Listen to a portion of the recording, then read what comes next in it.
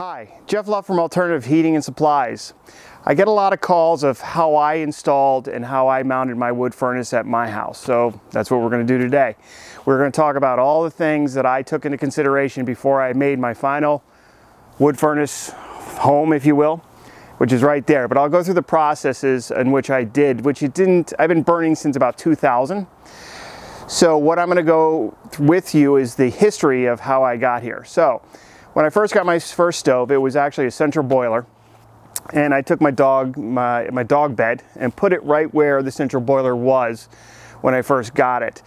Uh, I basically took the underground installation and laid it on top of the ground and went to my home, which is over here on my uh, left side, and it's about 40 feet away. But the reason I put it here was, first of all, I didn't know where I wanted to put it, and I bought it in the fall like most of us do. And I, the ground was frozen like it is now.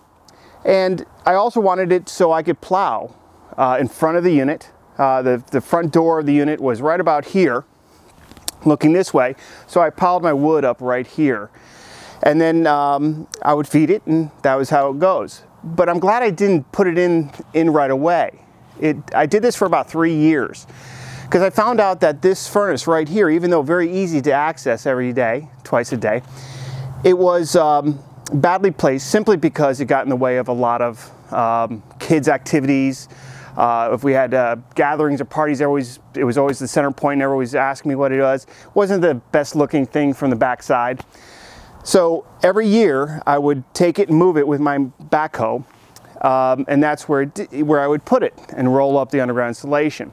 So where I'm going with this is this is how I came to my final position and how I finally built what is what I call the carriage house for the wood stove. I took the time and the money and I dug into the hill and built a concrete foundation and a concrete wall to hold back the material and the dirt obviously. And then I wanted to build a carriage house look. Now the reason for the carriage house roof is that it gives me more exposure to the southern sun which gives me a lot more heat, which will help dry the wood. And in here, I actually have a greenhouse roof, which we'll go inside in a minute, and you're gonna see how it works. So when choosing your location of your final location for your wood stove, if it's gonna be in a shed or by itself, there's a couple things that you need to take in consideration. Air currents, of how the smoke is going to react to your house. As you can see, my stove doesn't smoke very much. Um, if they're properly done and taken care of and it's a good quality stove, stoves don't smoke more than an indoor wood stove. One of the other things that a pretty common question is how much power should I bring from my house to the woodshed and how many water lines and what should I put in the trench before I actually put my stove down. I ended up running a 12-3 wire which allows me to put a, a power box in there uh, so I can have lights, I have power to my unit, and I also have a ventilation fan in there to remove any of the smoke if, if, if I'm loading the furnace. I also ran two zones of water lines. My house is about 3,800 square feet but not because I wanted to do that, uh, heat the whole house, because I can do that with just two sets of water lines. But I wanted to do it because I also have a whirlpool um, that I set up and I heat with my wood furnace. And also I wanted to heat my garage. I have a, a nice three car garage where I keep all my tools and my cars and my, my toys, if you will. And now I have more heat than I would ever need. And that's the reason I did that. So bringing that to your to your thought process is what will you might want out here so you when you're digging that trench you don't have to dig it once. Hi and welcome to my shed. So what I'm going to talk about now is how it was done inside the building. And actually I'm going to turn off the wood stove because it is on. Okay, so hopefully you can hear me better now. So the wood shed, uh, as you can see, has a nice greenhouse roof and it provides a nice lighting so when you're in here and it also provides shelter from the the rain or the snow that might be happening outside or during the winter seasons which is nice and it's actually the unit doesn't you know provide too much heat, but this building ends up being about 55, 60 degrees, so it's not really that cold. Uh, first of all, when I come into the unit and I feed the unit, what I will do is I'll first come over here and I'll hit this little timer switch, which is, it's like a, a timer, so it, it turns on for 5, 10, 20 minutes, and then it turns off. So I turn that on, so when I open the unit, some smoke will come out, as you can see, not much, but it also make it tolerable so I'm not breathing in all the smoke. So I'm gonna turn that off. Now, as I'm also mentioned in here, is that I wanted uh, plenty of lights. So here I have my light switches that have lights on the outside of the building. So when the kids are playing in the summer, fall, I actually have lights outside that shoot down. Also lights inside to give me more ambient light. And then lights also for uh, the plug outlets and everything else. So again, if I'm working in here or anything else, I can have outlets to use and everything else. This, the shed also serves as many purposes. I store a lot of my tools. Uh, behind you, we'll take a picture of my generator. That's It's an old military generator, so if the electricity goes out, I have plenty of power to run my whole house if necessary.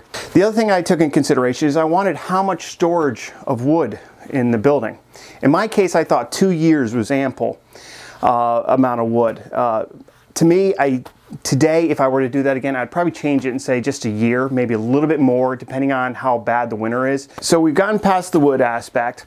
Now, removing the ash um, with my door here, basically what I do is I open this door all the way and I open this door and I take a garden shovel, as you can see up here, uh, and I just empty the ash and I use the bucket of my uh, backhoe and put it right there. Then I let it sit in the backhoe bucket for a couple days and then I dump it into my gardens.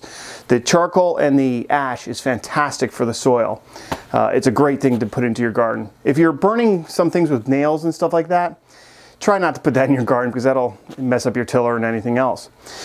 When I put the stove in, as I talked to you outside, I talked about the design of having one main beam going across the whole building here. So I can take out this wall easily with just cutting some simple nails and I can just slide this thing out, which will allow me to take this whole furnace out through here. And I actually put the furnace in before the roof was in, but in before the front was in. So this was just the foundation. In my case, which I don't recommend, is I didn't pour concrete, but I put solid concrete blocks and then put the floor this way. And as, as you can see here, it, it, the amount of ash and dust and things that fall onto it, uh, it's, it's a constant cleanup thing for me. But if you left it dirt or wood chips, then there's really no cleaning to do. The things that you need to do to be careful when you get this much debris on the ground is if you're throwing logs in, charcoal and red hots will come out and land here. And you can actually see some of them where I actually will step on them and put them out. If I have this debris here, it is combustible so you can start a fire. So just be careful about what you do uh, to make your area clean so that if sparks do come out, you're not going to create a fire. One of the other things that I found very beneficial when installing an outdoor wood furnace, depending on how many pumps you have, put a light switch, an external light switch on the back of the furnace where you can turn on and off the pump with a light switch. Okay. Well, thank you guys for watching my video on my wood shed and how I did it. And I hope it helps you make your life a little bit easier in deciding on how you want to place your wood shed or how you'd like to do it. But please feel free to uh, subscribe to me and I will keep the videos coming. I'm going to try to do two videos a month and keep all this information fresh and current as possible so everybody can figure out how to run these wood stoves. This is why I got into this business because when I bought it back in 2000, nobody knew anything about installs. They were just selling these wood furnaces and nobody really knew how to hook them up or do it right. So that's what I'm here to do and I'm hopefully going to do that the best of my abilities. Thank you and have a great day.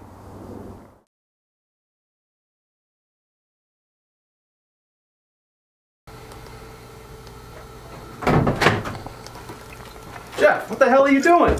Damn it. I'm getting ready for the next shot. Give me a break. I just need a few minutes. Don't don't. I'll be ready in a minute. Viewers to like and subscribe to your channel. Hey guys, give me a thumbs up if you like us. Cheers. Stay warm.